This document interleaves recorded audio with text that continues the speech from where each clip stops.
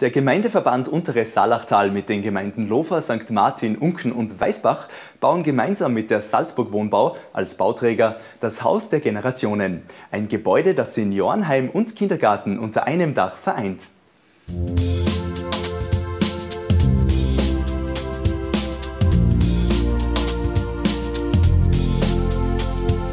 Verträge sind unter Dach und Fach.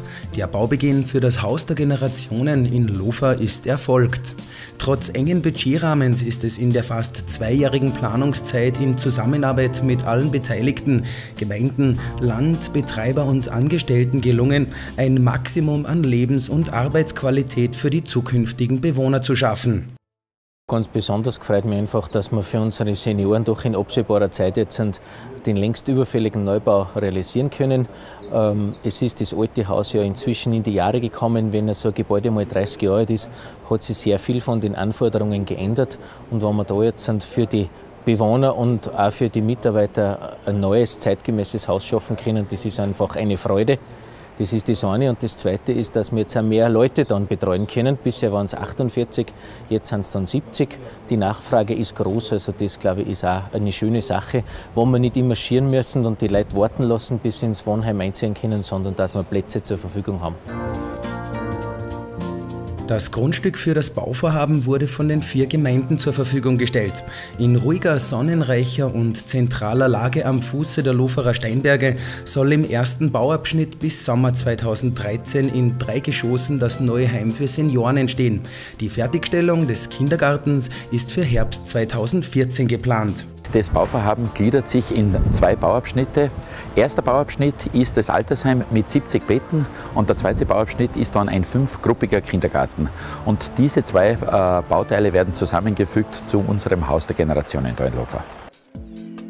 Die Gemeinden des unteren Saalachtales mit Lofer, Unken, St. Martin und Weißbach sind sich einig, gemeinsam Verantwortung gegenüber der jungen wie auch alten Generation zu übernehmen.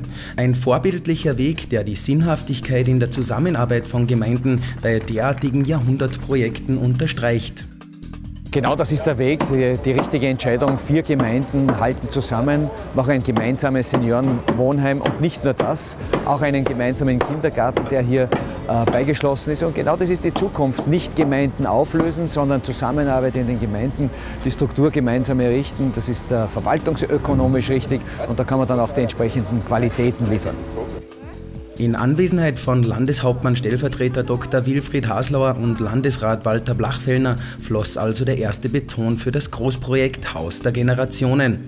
Ein Haus, das auch für die künftigen Mitarbeiter neue Herausforderungen mit sich bringt. Ganz besonders taugt mir die Herausforderung, dass ich bei so einem Projekt dabei sein darf, dass ich die Verantwortung übernehmen darf für so viele Bewohner dann im Haus, für die Mitarbeiter ja, einfach diese Herausforderung zu zeigen, geht es gemeinsam. Und das beste Beispiel, finde ich, sind schon diese vier Gemeinden, dass sie überhaupt so ein Projekt zustande bringen. Und ich weiß, dass ich da die beste Unterstützung habe dafür. Die zeitgenössische Architektur und die Funktionalität des Objektes bieten künftig den optimalen Rahmen dafür. Das Haus der Generationen eröffnet neue Möglichkeiten des Miteinanders, nicht nur Gemeinde, sondern auch generationenübergreifend. Im Haus selbst auf jeden Fall, weil wir haben ja bisher schon die Erfahrung gemacht, die Kleinkindgruppe, äh, die jetzt schon untergebracht war, hat man gemerkt, also, dass die Senioren äh, irrsinnig gern den kleinen Kindern zuschauen beim Spielen äh, oder auch wie es rumtollen. Das ist für die Senioren ein schöner Zeitvertreib und hält es vielleicht auch selber noch ein bisschen jünger. Und das haben wir jetzt dann tagtäglich.